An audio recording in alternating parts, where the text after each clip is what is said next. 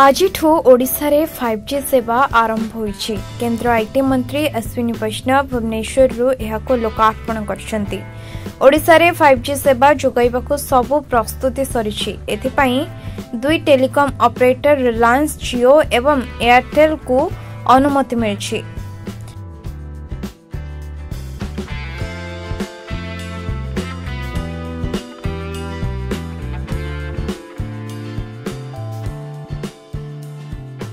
ପ୍ରଥମେ ରାଜ୍ୟର ମୁଖ୍ୟ ସହରଗୁଡ଼ିକ ଫାଇଭ୍ ଜି ନେଟୱାର୍କ ସହ ଯୋଡ଼ି ହେବାକୁ ଥିବାବେଳେ ଧୀରେ ଧୀରେ ଗ୍ରାମାଞ୍ଚଳରେ ମଧ୍ୟ ଏହା ଉପଲବ୍ଧ ହେବ ବୋଲି ସୂଚନା ମିଳିଛି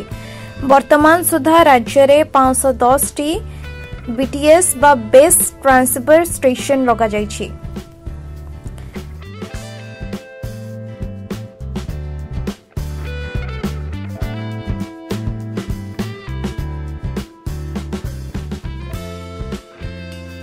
କୁହାଯାଉଛି ଫୋର୍ ଜି ତୁଳନାରେ ଦଶ ଗୁଣ ଅଧିକ ରହିବ ଫାଇଭ୍ ଜି ଇଣ୍ଟରନେଟ୍ ସ୍ପିଡ୍ ଆଖି ପିଛୁଳାକେ ଡାଉନଲୋଡିଂ ଆଉ ବିଜୁଳି ବେଗରେ ସର୍ଫିଂ ହେବ